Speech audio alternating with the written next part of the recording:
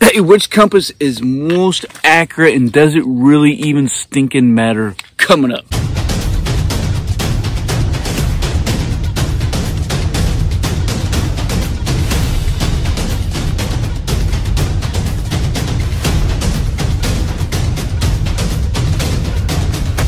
Welcome to the channel, friends. As always, man, I am super stoked and super pumped up to see you, man. So Jimmy dropped a question about how accurate do compasses need to be, specifically the relationship between uh, base plates and lensatic compasses, specifically the Cammenga compass. And by the way, if you're looking for any type of, of gear, uh, whether it's land nav related or not, look down in the description below. You find a, a, link over to my Amazon influencer page where you can find all kinds of, of food, fire, water, shelter, first aid, navigation tools. If you think of it, it's probably there. And even more specific than that, you know, and, and we'll, we'll show you here in a second, but a the, the base plate on a lensatic compass is about an inch and a half uh, in diameter here, right?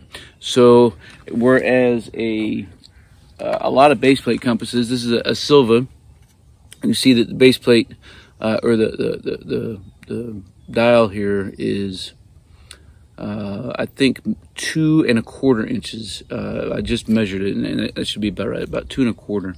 So, what does that difference mean? And ultimately, you know, as we look down on a compass, we can see that as we're reading uh, our degrees, that we have variations, we have tick marks every five degrees, every five degrees.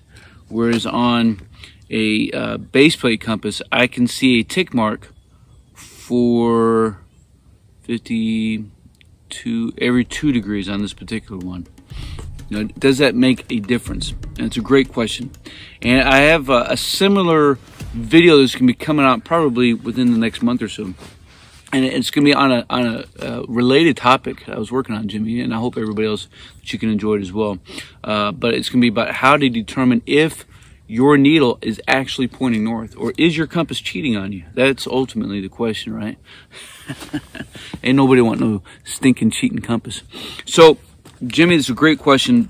Uh, is it doesn't matter. And ultimately, I guess it, it depends on, on what you're trying to do. And so, you know, as we get going, you know, does it really matter, Jimmy? I think, I think ultimately it doesn't. And I'm gonna, I'm gonna try to, I'm gonna try to find a good spot here to show you why. Oh, this is probably a real good one right here. Um, so, you know, the first reason why I think is because, you know, yes, if you moved out, let's just say, you know, with a Cammenga compass, you were a solid five degrees off if you were five degrees off and you were able to stay on a straight line on that azimuth, and you, you should have plotted, you know, 270 degrees, but you moved out at 275 degrees. And somehow you managed to stay on a straight line, no deviation at all, for a thousand meters.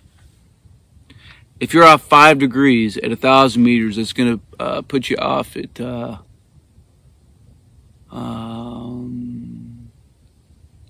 about 85 or 90 meters. I, I, think that's about right.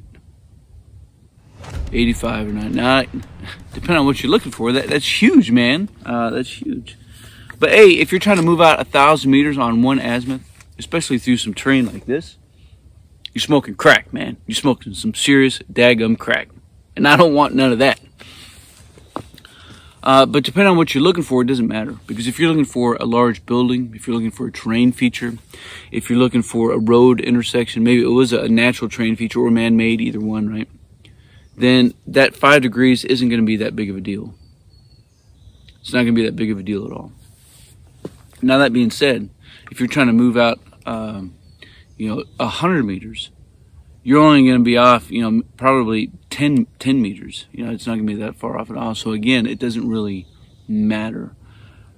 But that being said, it, stinking matters, Jimmy. It, it really does. And everybody else, I, I need you to hear me. It matters because you need to take all of these variables outside of the equation. You need to be running and gunning perfectly with no variation. If you start uh, uh assuming taking things for granted that it's not going to matter, you're going to set yourself up for failure and it's not going to go the way that you were hoping it was. So to put it in perspective, um, I'll get you a, a, picture here in a second.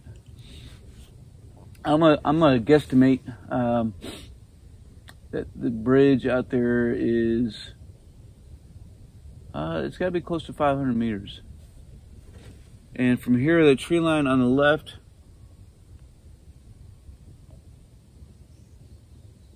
is exactly 215 degrees. On the right,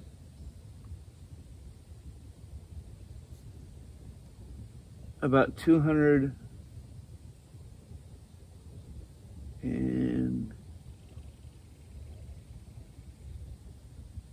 17 degrees. So there's only a couple degrees difference just looking at here. Just kind of help put it into perspective, right? That you know a couple degrees, and I can I can I can say that with some fair accuracy. Yes, I only have increments of five degrees but I think I can reasonably, especially if I'm using a compass to cheek method to try to get determine an exact azimuth, I can determine more than just five degrees. I, I can probably get it to within uh, uh, two degrees for sure uh, of being spot on. As we look out, should you have made a mistake of just a couple degrees, yeah, eh, it's going to put you off a little bit. So if I'm looking for a, an ammo can or something, uh, it might take me a little bit longer to find it. But if it was more open like this, you know, if the water was, was just grass and there's a prairie and I made a mistake like that, I, am going to be able to find what I'm looking for, no problems. Now, with a base plate such as this, you know, if I don't have a mirror, if it's not a mirrored uh, uh, base plate compass, so I can shoot a precise azimuth, similar to going compass to cheek, and here I, I'm stuck having to use a center hold method, I may have more tick marks, but it actually doesn't do me any good because I'm not going to be able to get as accurate, right? Hope that makes sense. Well, brother, man, I hope that answered your question. And if anybody else is out there who had the same or similar question or didn't even know that to have that question, I, I hope it uh, I hope it helped you out. And if talking about this spurred up some more questions, leave some comments down below. A about the content of the video, what we talked about. B if you have a question, make sure you leave it, and I'll, I'll hit you back up as well. We can keep this conversation rolling, keep learning from each other. Man, I, I hope you do. I hope y'all are doing well. And if you haven't already done so, make sure you like this one. Uh, and if you want to stay up to date on some future content, make sure you subscribe to the channel and click that notification bell.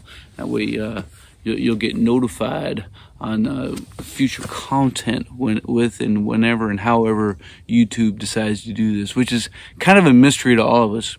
Right? It's kind of a mystery to all of us, myself included. Like I'm subscribed to some channels, and I, I barely get notifications. so I understand the struggles. Man, the struggle is real. But I appreciate you hanging out with me for here for a few minutes. And man, and I look forward to seeing y'all next time. And until then, y'all stay stoked.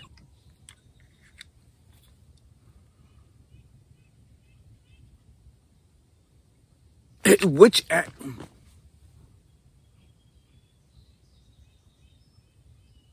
which compass is most accurate and does it really even stinking matter coming up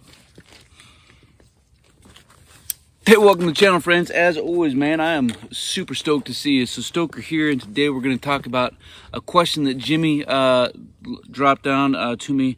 As far as, you know, how accurate does a compass need to be? And specifically in this one, we're talking about uh, the difference between a Cammenga and a base plate. You know, a, a compass, a Lensatic compass, the base plate is um, about an inch and a half wide, right, uh, to, to where the, uh, the, the your, your thingies are. Holy shit, man, learn how to talk.